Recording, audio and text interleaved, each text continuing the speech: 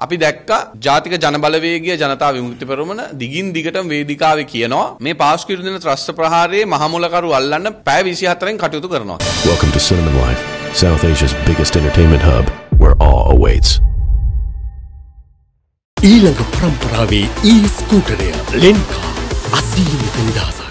හදපු ජනාධිපති විමර්ශන කොමිසමේ වෙලුම් සියල්ලම ජනගත කරන්න ඕනි කියලා අනුර කුමාර දිසානායක මහත්තයා 2021 පෙබරවාරි 12 වෙනිදා මට මතක විදියට කියනවා දැන් අද අනුර කුමාර දිසානායක මැතිතුමා මේ රටේ ජනාධිපති. ගම්මන්පිල මහත්තයා කියනවා හංගන් ඉන්න වෙලුම් දෙකක් තියෙනවා කියලා. අපි දන්නේ නෑ මේක තුල කාව හරි ආරක්ෂා වෙනවද කියන එක. එක්කෝ ඉහළ පෙළේ නිලධාරියෙක් එහෙම නැත්නම් පාස්කු ප්‍රහාරයේ සිදුවෙච්ච අවස්ථාවේදී උසස් තනතුරක හිටපු නිලධාරියෙක් හෝ වර්තමානයේදී එවැනි තනතුරක සිටින නිලධාරියෙක් ගැන හෙළිදරව්වක් තියනවද කියන එක පිළිබඳව අපි දන්නේ නැහැ. යමෙක්ව ආරක්ෂා කරන්නද මේ වෙලුම් දෙක ඉදිරිපත් නොකරන්න කියන එක පිළිබඳව සාධාරණ සැකයක් අපිට ඇති වෙනවා. දැන් විජිත හේරත් මහත්මයා කියනවා ඇමතිවරයා කියනවා මේ වෙලුම් දෙක කොහොමද උදය ගම්මන්පිලට ලැබුණේ කියලා හොයලා බලන්න ඕනේ කියන එක. ඒ කියන්නේ අය පිළිගන්නවා වෙලුම් දෙකක් තියෙනවා කියලා. ඒ කියන්නේ අය පිළිගන්නවා මේ වෙලුම් දෙක ප්‍රසිද්ධ කළා නැහැ කියලා. ඒ කියන්නේ ඒ අය පිළිගන්නවා මේ වෙලුම් දෙක හංගගෙන ඉන්නේ කියලා. රහසිගත වෙලුම් දෙකක් කියලා. උදය ගම්මන්පිලට මේ වෙලුම් දෙක හම්බෙච්ච එක පිළිබඳව පරීක්ෂණ කරලා වැඩක් නැහැ. පරීක්ෂණ කරන්න ඕන